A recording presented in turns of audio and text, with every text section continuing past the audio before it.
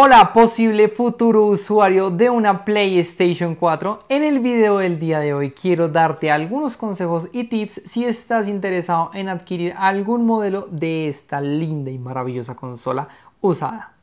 Hola videojugadores, bienvenidos a JXR Ultra Store. En el video del día de hoy vengo a darte a conocer unos aspectos muy importantes que tienes que tener a la hora de realizar la compra de una futura PlayStation 4. Así que comencemos. Lo primero que tienes que saber es que actualmente existen tres modelos de esta consola. Existe el modelo antiguo, el que es conocido como la PlayStation 4 FAT, que es de las primeras ediciones que Sony sacó al mercado.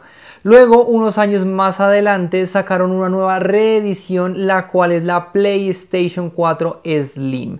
Este modelo es uno de los más asequibles y que vamos a poder encontrar mucho más fácil en el mercado. Y por último, encontraremos la PlayStation 4 Pro.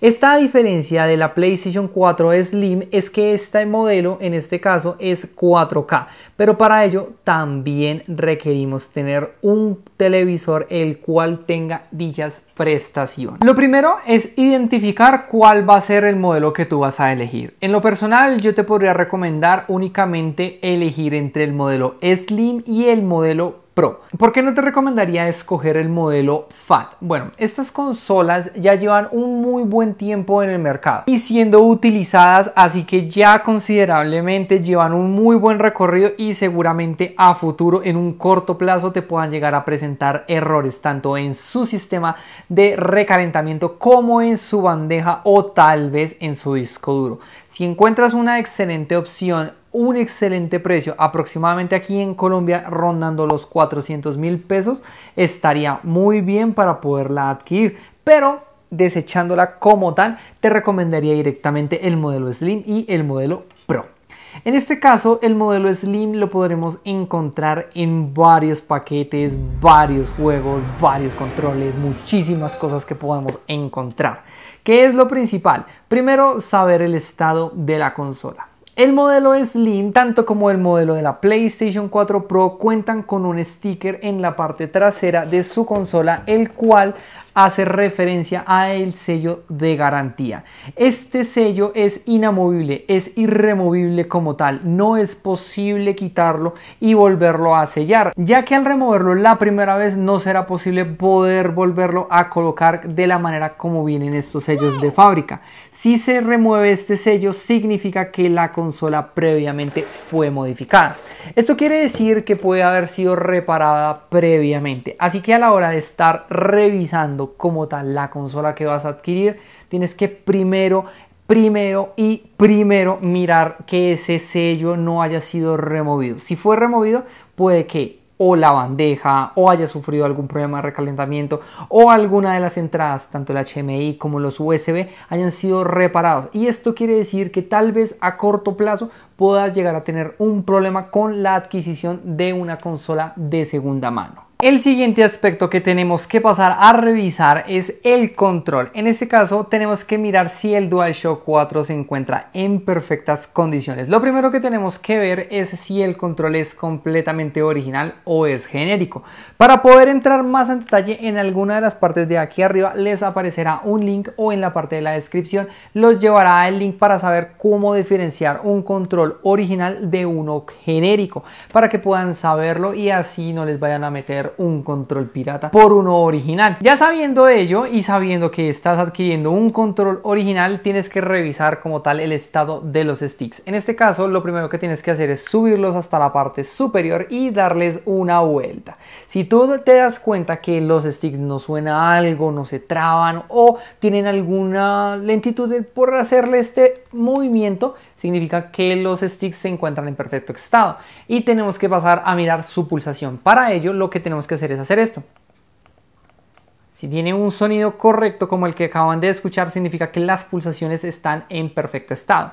Y ya lo siguiente que tienen que hacer, eso sí, tienen que ya tener conectada como tal la consola, es mirar si la batería del control está en perfecto estado. Pueden decirle a la persona con la que están adquiriendo este dispositivo usado que les deje utilizar algún título, algún juego por durante 15 a 10 minutos. Si ustedes se dan cuenta que la parte inferior de aquí se sobrecalienta muchísimo, significa que o la batería está cambiada y no es la original o que en su defecto esta ya está dañada y necesita realizársele un cambio.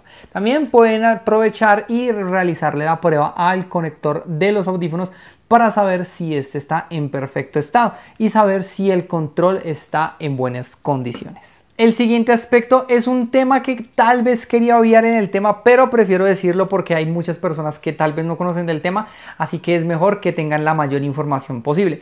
Y es conocer el estado de la consola. Como tal, este sistema no puede tener algún golpe o abolladura porque puede llegar a ser perjudicial. La consola PlayStation 4 no cuenta con un grosor en plástico muy muy grande que podamos llegar a darle un golpe fuerte considerable, ya que una abolladura podría llegar a presentar daños tanto en la conexión Bluetooth como en la conexión Wi-Fi o todas sus conexiones inalámbricas dentro del sistema. También es importante que a la hora que estén realizando la compra y la prueba del dicho dispositivo, sabemos que es un tiempo corto, así que tienen que ser supremamente rápidos. ¿Y cómo pueden hacer, por ejemplo, pruebas de los puertos USB? Pueden tener un cable USB y poner a cargar el control en cada uno de los puertos USB que tenga el modelo de la consola que ustedes están por adquirir.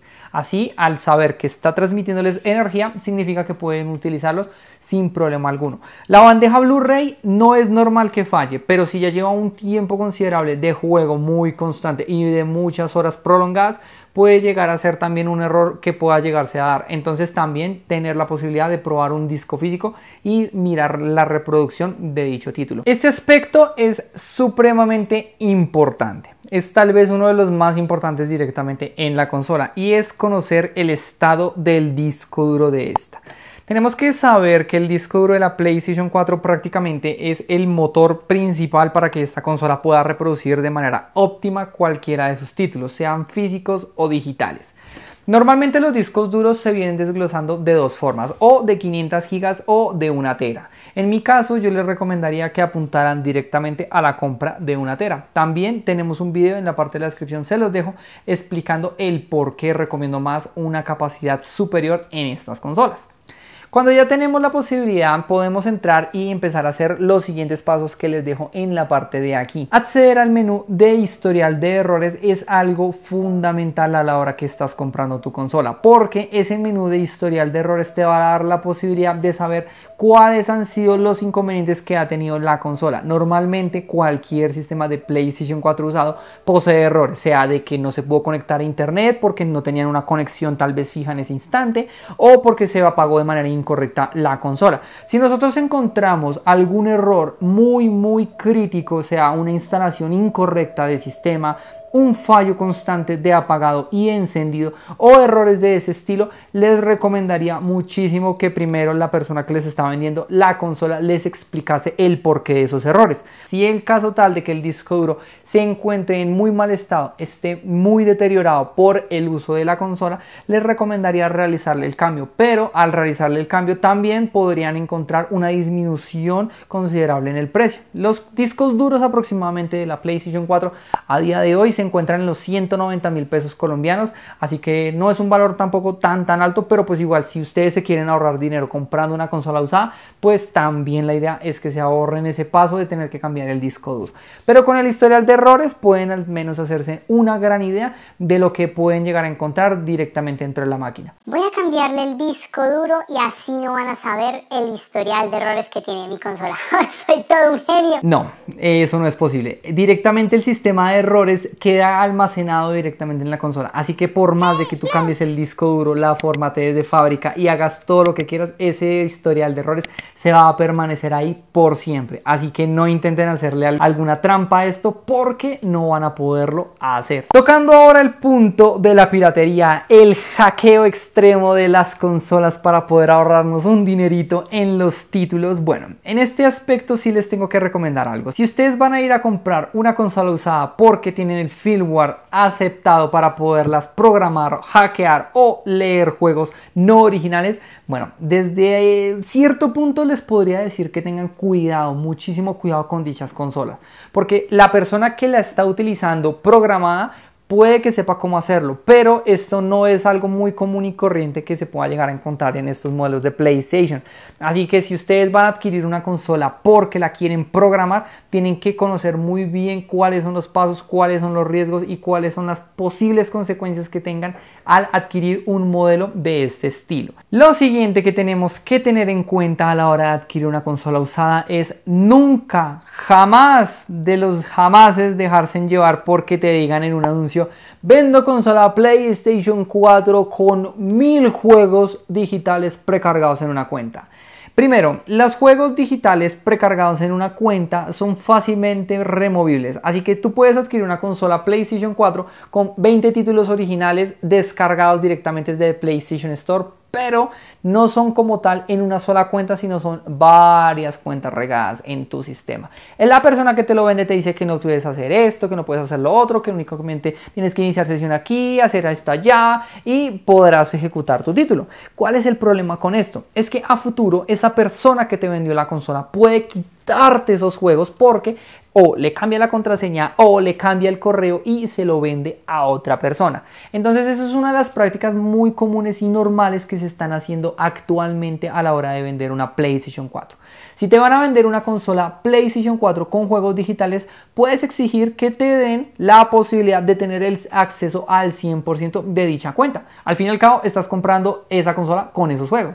Así que tú tienes que decirle a la persona que te está vendiendo la, consola usada, decirle quiero cambiarle el correo a uno que sea de mi propiedad, la contraseña que sea de mi propiedad y los datos de cuenta que sean de mi propiedad para que tú no tengas el posible acceso y me puedas cambiar la cuenta y robármela y dársela a otra persona.